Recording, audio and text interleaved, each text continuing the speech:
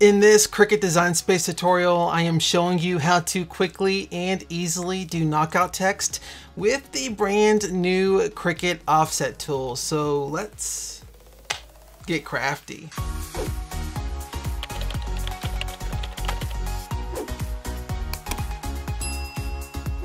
Hey, I'm Michael, and this is Mr. Crafty Pants, your Cricut and crafting channel where I show you Cricut tips, tricks, and tutorials every single week. And today I am showing you how to do knockout text with the brand new Cricut offset tool. I just went to check Cricut Design Space today, and the update was just waiting for me to download it, and I am just over the moon, so excited. We have all waited so, so long for this tool not to mention all the little workarounds that we had to come up with to get an offset type of look with our projects. But y'all, it is finally here and I cannot wait to show it to you guys. So let's go ahead and jump into Cricut Design Space. All right, so first things first, what I'm gonna do is come right over here to the left-hand side of the page and click on text. And in this text box, I'm gonna go ahead and type in the last name of my best friends. So I'm gonna type in here, Peterson, and I'm gonna do this in all caps. Now, since we are actually going to be knocking out their first names out of their last name, what I'm wanting to do is make sure these letters are as bold and as close together as possible. So to do that, I want to just make sure that the little text right here is selected. And I'm going to come up here towards the top of the page, right here where it says style. And I want to change that from regular to bold, just like that. And I'm also wanting to make sure that these letters are closer together. So for that, I'm gonna come up here and select letter space and then just click this little down arrow like so. Now sometimes this letter spacing tool works, sometimes it doesn't work as great, and so there is a little bit of a workaround for that. So if you're finding that it's not spacing your letters the way that you want them to be, what you can do is just come over here to the top right hand side of the page and click on ungroup. And basically what that does is it ungroups each of those letters onto its own layer. So we can actually move this S a little bit closer, just like so. We do the same thing with the O, and essentially we're able to move each of these letters individually. All right, so I'm really liking this spacing for what we're doing today. So what I'm gonna do now is click and drag over all these letters, just like so. And I'm gonna come down here towards the bottom right-hand side of the page, and I'm gonna click on Weld. Now the reason that I did weld instead of attach here is because I want this to be one single layer so that we can actually slice out the outline or the offset of their first names out of their last name, which will hopefully make a little bit more sense here shortly. So just, just stick with me. All right, so now I'm gonna come back over here and click on text again. I'm gonna type in here Ryan and then just hit space and then type in Alyssa just like that. So what I'm actually gonna do now is come up here towards the top left-hand side of the page and I'm gonna click right here where it says font, and I'm gonna come right over here where it says system, select that, and then I'm gonna do a search for lovely. And this is the font that I'm using right here. Now I did get this font from fontbundles.net, so I will have that linked for you all down in that description box below. But one of the things I absolutely love about this type of font is that it comes with all the little glyphs or swooshes or swashes or whatever you're wanting to call them that you so often see with the knockout style of text. What I also absolutely love about this is what Font Bundles actually makes available to make it so much easier to actually use those little glyphs or, or swashes.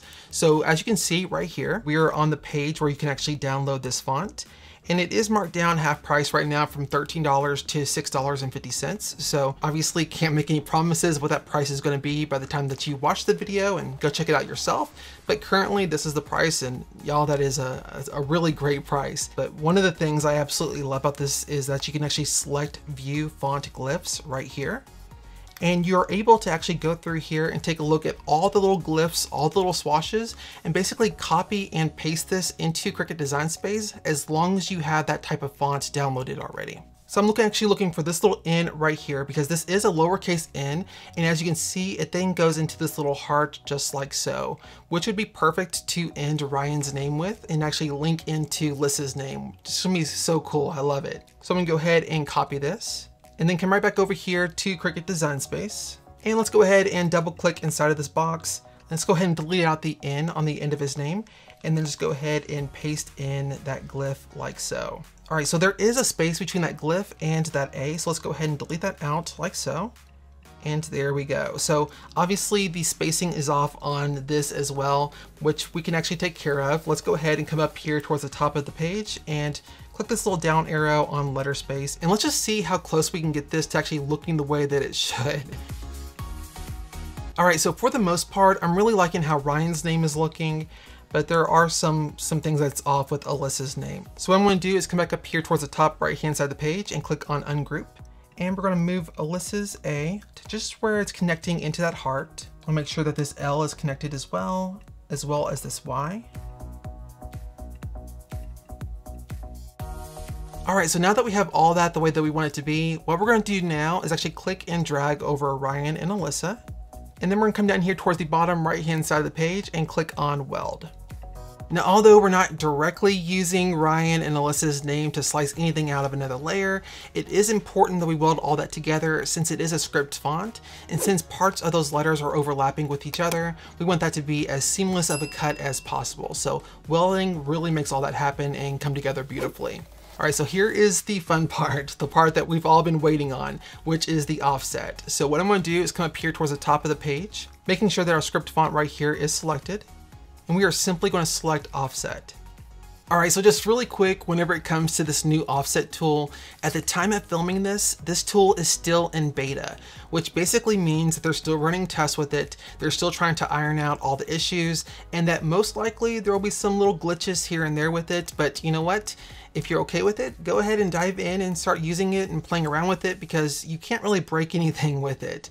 So what I'm gonna do is basically grab this little slider right here and as you can see, as I move this slider, this little blue outline around our selected text is growing, just like so. Or you can actually shrink it back down. Or if you actually want to create an inset, all you have to do is drag it past this little line right here in the middle.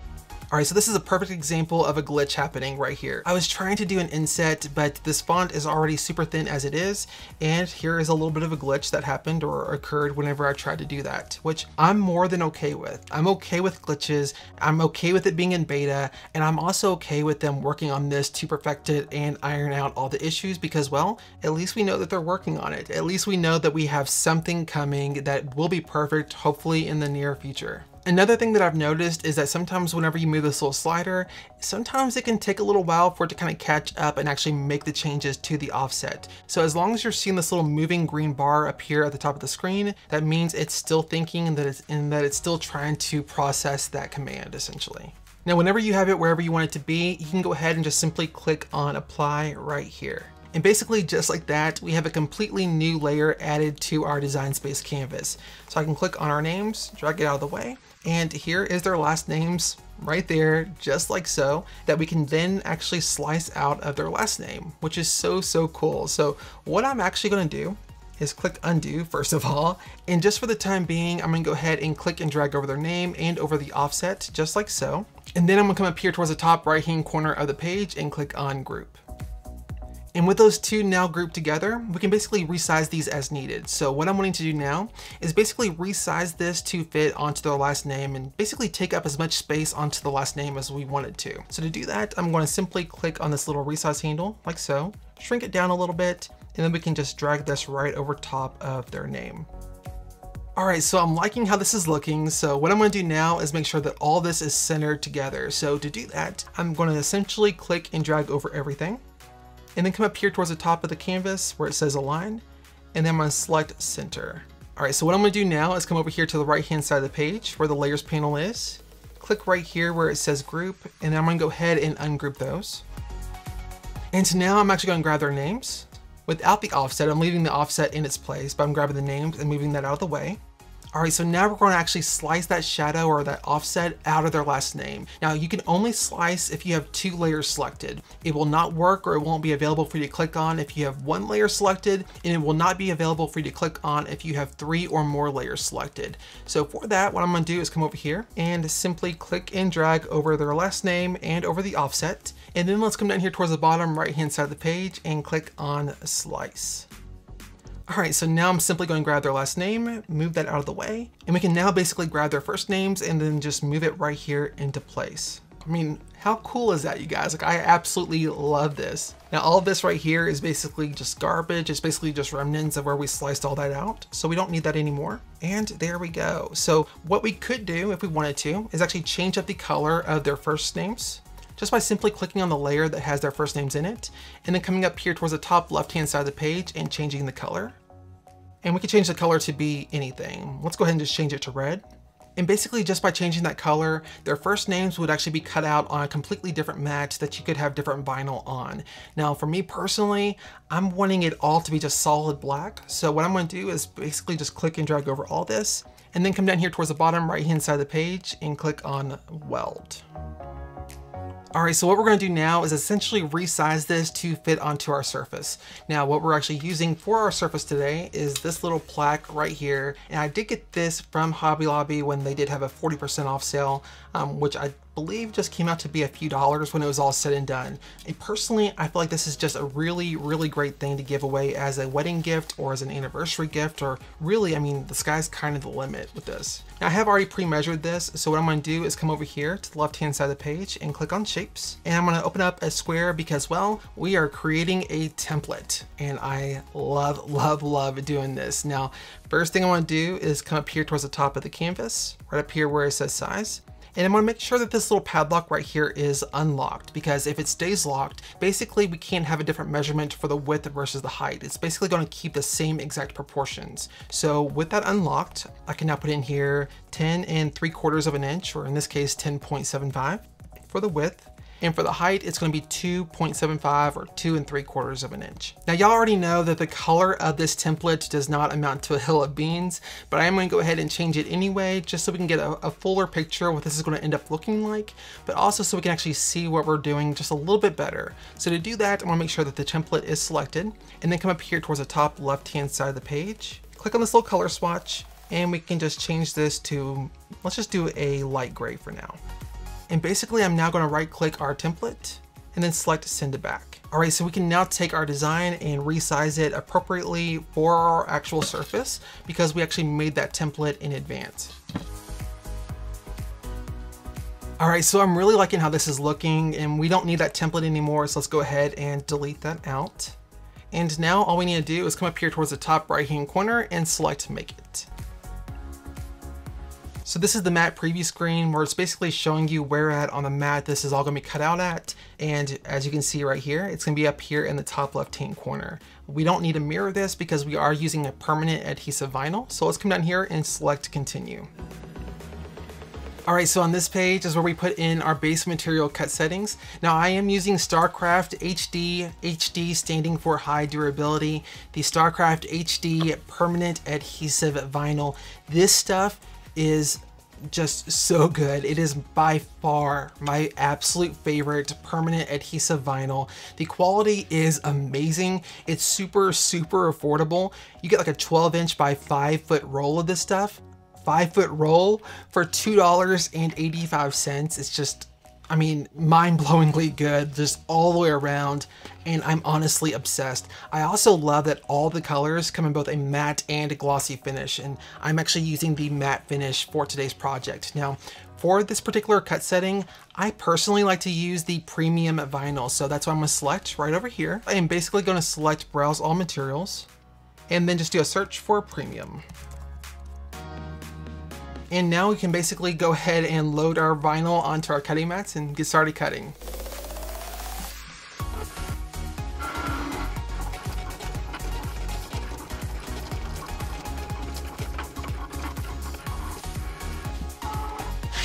Alright, so now I'm gonna go ahead and unload our vinyl from our cutting mat. And to do that, like always, I always flip the mat over and then peel the mat away from the vinyl instead of the other way around, just to prevent any damage from happening to our vinyl.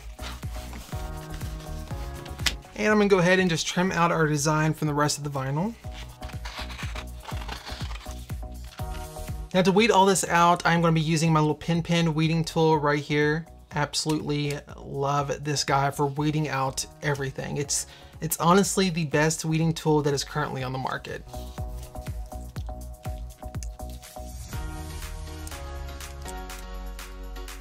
All right, so now what we're gonna do is go ahead and grab the transfer tape and this is the gold standard in my opinion. Like I love, love, love this transfer tape. This is the medium tack transfer tape. You can get this from 143 vinyl as well as the StarCraft HD permanent adhesive vinyl. And heck, I mean, even the pin pen. And you can actually use my code, which is crafty, and that will save you an additional 5% on your entire order. And it will also help support this channel at the same time. So it's like a win-win. So if you buy anything from 143 Vinyl, you can use the code CRAFTY to save 5% on the entire order, which is just amazing. All right, so I just pulled off some of this transfer tape with the sticky side facing up towards me. And I'm basically just gonna go ahead and grab our decal and then apply this face first down onto the transfer tape. And I am gonna kind of fold it a little bit like so, and then just kind of apply it from the center and then just roll outwards. I'm grab my little squeegee tool. Just kind of burnish that down a little bit and then go ahead and trim out our decal from the transfer tape. And what I absolutely love about this transfer tape is that it doesn't leave any type of residue on your vinyl, no matter how long you actually leave it applied to your vinyl. And I also love that you can use this stuff over and over and over again. Like I use some of these sheets up to 10 times or more per project or just in general. It's just all around amazing. All right, so now I'm gonna flip this over and then just burnish this down some more. Now again, I am using a squeegee tool. I am not using the Cricut scraper tool. You can use the Cricut scraper tool as a squeegee if you're super, super careful. But if you've ever noticed that you actually scratched up your vinyl with that Cricut scraper tool, well, then you're not alone. It's not actually meant to be used as a squeegee. It's meant to be used as a scraper tool to actually get stuff scraped off of your mat. So what I'm actually doing is using this little squeegee tool. Oh, and by the way, this, as well as everything else that I've used or mentioned in this video, will be listed and linked for you all down in that description box below.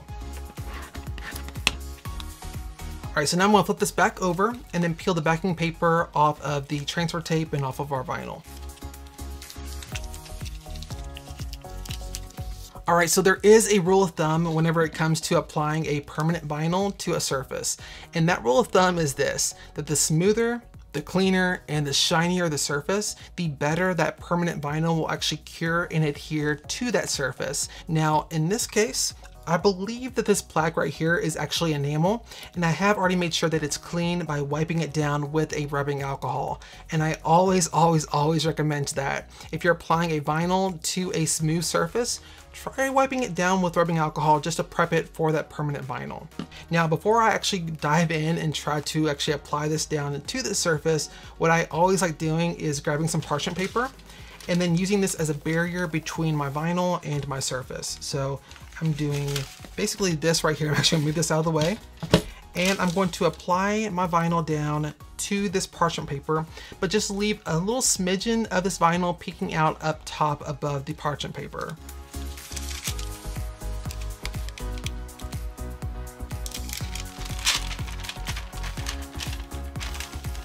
All right, so something just like this should do the trick, where as you can see, most of this is covered by the parchment paper, but there's just a little bit of that vinyl peeking out up top.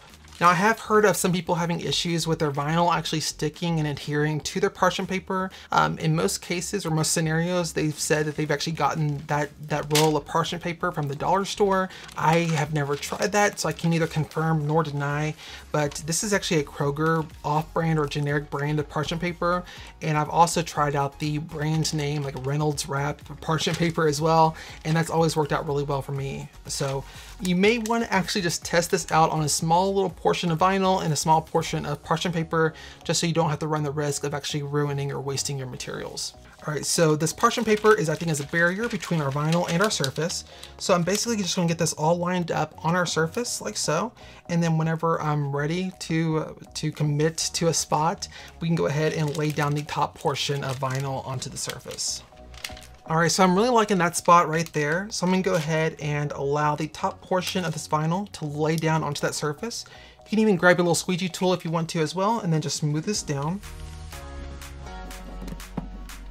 And now what we're gonna do is actually lift this up, pull the transfer tape up, and then slide that parchment paper out. And then we're gonna very, very carefully allow the rest of this vinyl to kind of lay down. And what I like to do in the process is actually use a little squeegee tool to kind of help push that down as we go. All right, so once you got it all squeegee down or burnished down, what we can go ahead and do is just grab a corner of that transfer tape and slowly start peeling it off.